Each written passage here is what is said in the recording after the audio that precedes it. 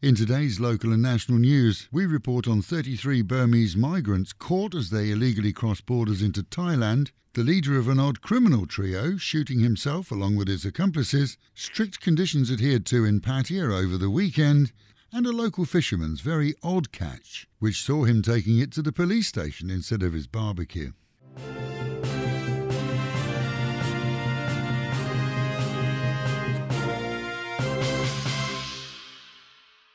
The Chonburi Public Health Department has issued a request that anyone who visited the Dusit Grand Park Condominium E building in Soi Teprasit 9 on either February the 22nd or from March the 3rd to the 4th contact local hospitals and register their visits. This after at least one COVID patient was found to have visited there on those dates. Anyone showing symptoms of concern should call ahead and apply for treatment. Sunday's COVID reports nationally showed 65 new cases, 60 within the community, and 5 in quarantine following arrival here. With no new deaths reported, Samutsakorn once again was top of the charts with 38. In Kanchanaburi, 33 Burmese migrants were intercepted as they crossed the border into Thailand. Patrols spotted them and quickly took them into custody, where they were tested for COVID and then isolated. The group, who'd paid thousands of baht to cross, included children and claimed that they were transiting through Thailand to get to Malaysia. When caught, it turned out they were starving after a trek that had lasted several days, and so they were provided with meals and water. Cheating people out of some 20 million baht with a fake sales scam saw an odd trio do very well. That until they were charged by police in Chiang Mai.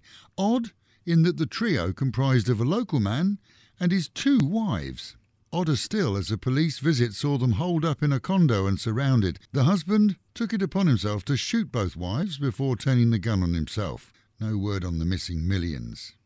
Meanwhile, at home and in Pattaya, local authorities spent the weekend visiting all the entertainment areas of the city, ensuring that proper closing hours, midnight, were adhered to, and they were.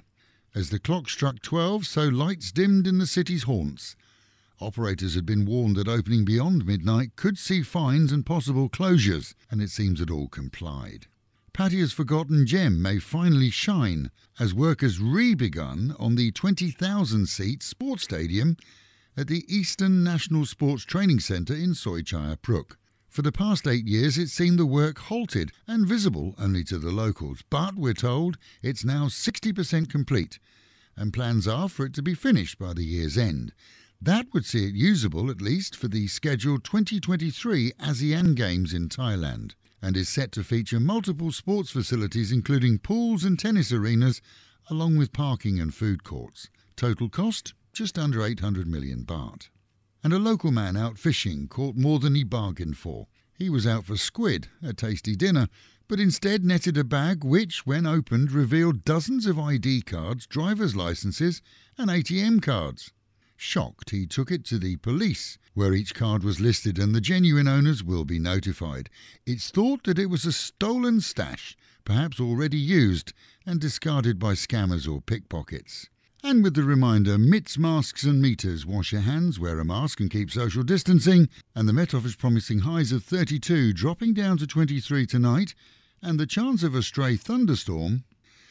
Local and national news today from Fabulous 103 FM and Fabulous Pattaya Media Group. And to get a notification every time we release another bulletin or program, like and subscribe to our channel, Fabulous Pattaya Media Group, by using the link below.